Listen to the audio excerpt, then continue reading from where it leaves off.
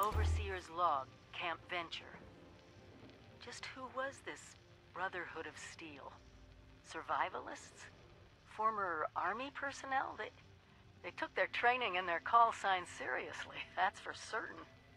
Organized, efficient, access to hardware? You'd think they'd be ruling West Virginia by now. But they're gone. If they're following military logic, then they'll have a fortified headquarters somewhere, and a leader. Someone who knew what they were planning.